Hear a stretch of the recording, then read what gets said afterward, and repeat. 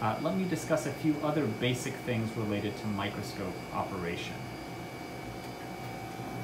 First, as far as focus goes, this microscope has a focus knob uh, either on its left or right side. You will typically use the left because you'll be using the right hand to move the sample in X, Y. And you can see there are two buttons right next to this.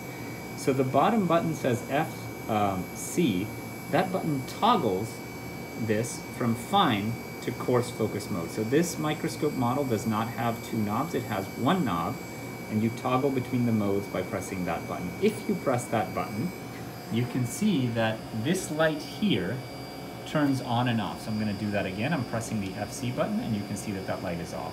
When that light is on, it means that the microscope uh, focuses in coarse mode, meaning a small movement of this knob moves the objectives a lot uh, up and down, uh, and so affects the focus of what you're seeing a lot. And so that's usually a good idea to be in that mode uh, when we're kind of very far from the sample and just trying to find it. Once we're near the sample, we want to switch to fine focus mode by clicking here.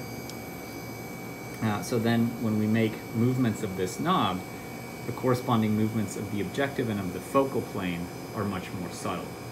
The other button is called escape, and so what this button allows us to do is to retract the objective, so pull it down to a position where it's far from the sample so that we can uh, put samples on or off, put on oil, remove oil without having a risk of scratching the objective against the sample. And so the way that uh, setting works is we hit escape, it retracts, and if we hit escape again, it goes right back up to exactly where it was.